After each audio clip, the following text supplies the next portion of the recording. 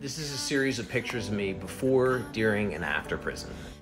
In the backyard with my dad at their first house. One of my elementary school pictures full of dreams. Giving a presentation to the class before I lost my spark.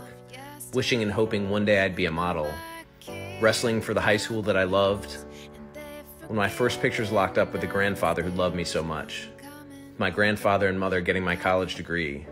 Learning to meditate and get a different perspective with Quinn, the dog who changed so many lives, the day I walked out of prison with an hour and a half's notice, a professional photo shoot to get on the front of the local paper, which was a number four paper that year.